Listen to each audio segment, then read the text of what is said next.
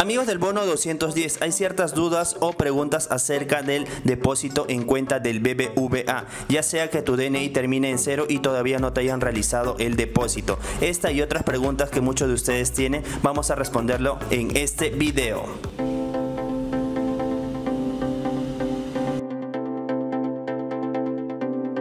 Separado algunas de las preguntas que más se repiten en los diferentes videos que he realizado del bono 210 exclusivamente del depósito en cuenta del BBVA. Bien amigos, entonces ahorita vamos a comenzar. Aquí ya tengo las preguntas para hacerlo un poquito más dinámico.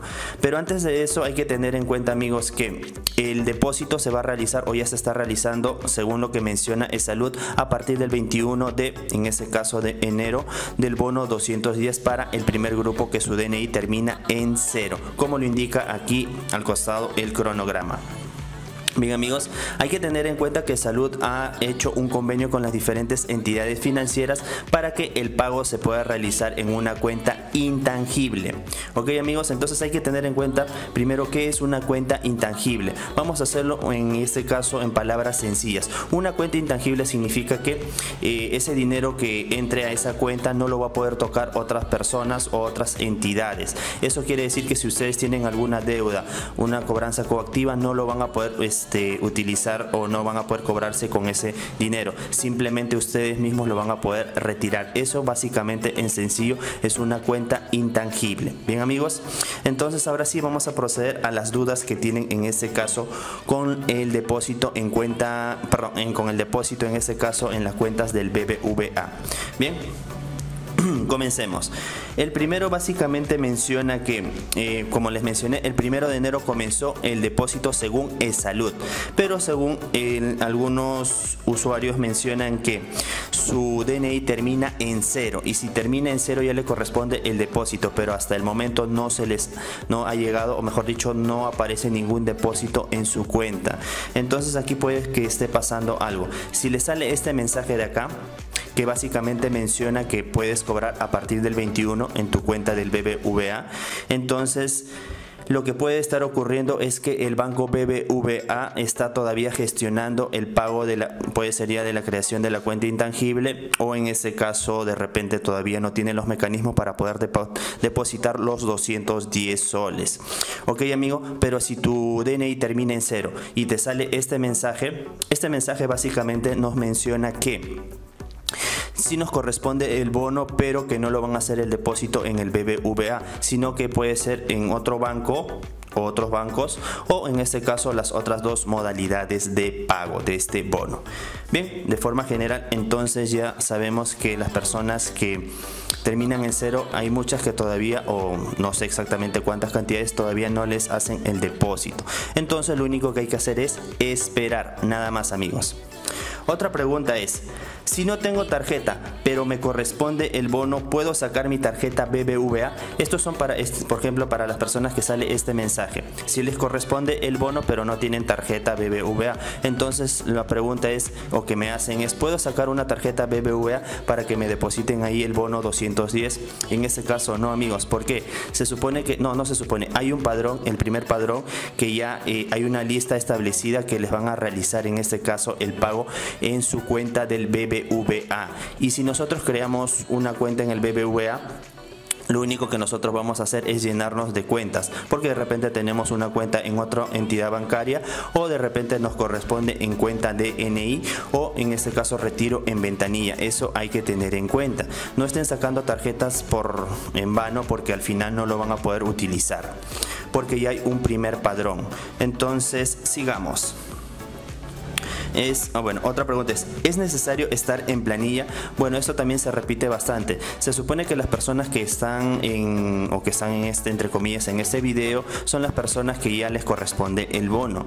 Pero si aún así todavía no sabes exactamente cuáles son los requisitos o dónde debes ingresar para poder saber si te corresponde el bono, aquí arriba te dejo el video para que puedas saber cuáles son los requisitos para el bono 210 y si deseas saber en este caso si es que accedes o no al bono, simplemente ingresa este link, eh, coloca tu DNI y los datos que te pidan y ya te va a salir si te corresponde o no el bono 210, puede ser en la cuenta BBVA o de repente en otra modalidad o u otros bancos. Sigamos. ¿Qué pasa si tengo BBVA, perdón, ¿qué pasa si no tengo BBVA, pero si tengo BCP o otros bancos puede ser? En ese caso, lo único amigo que te queda, o amigos en general, es esperar nada más porque va a salir otros padrones y en esos otros padrones van a salir las otras entidades bancarias. Bien amigos, eso es de forma general. Sigamos. Mi último dígito, perdón, mi último dígito es 2, pero tengo otras cuentas. Bueno, en este caso. Básicamente menciona que si le corresponde el bono, es, probablemente le salga este mensaje de acá, pero tengo otras cuentas. Lo mismo, prácticamente es, una pregunta relacionada a la anterior. Lo mismo, simplemente esperar a los nuevos padrones para poder saber si nos corresponde en depósito en cuenta, ya sea en BCP, en Interbank u otras entidades bancarias. O en su defecto va, a ser en depósito en, en, perdón, en cuenta DNI y, o retiro en ventanilla, ¿ok? Cualquiera de esos. Entonces sigamos.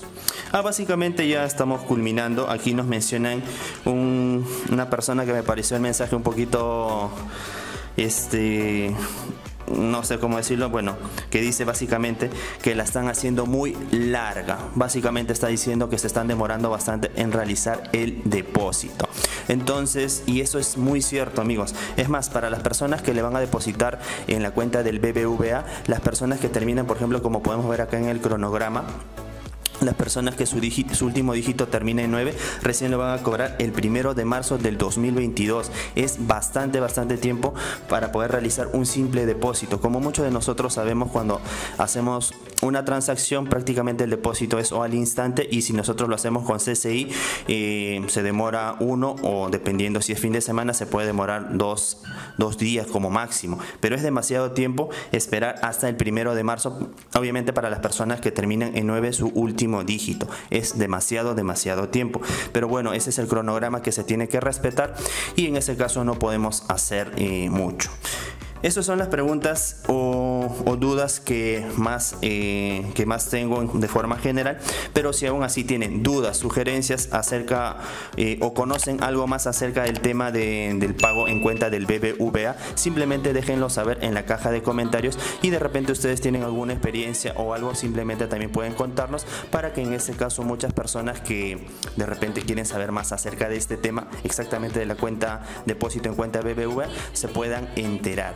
Eso sería básicamente todo por mi parte por el día de hoy y ya saben, nos vemos en un próximo video.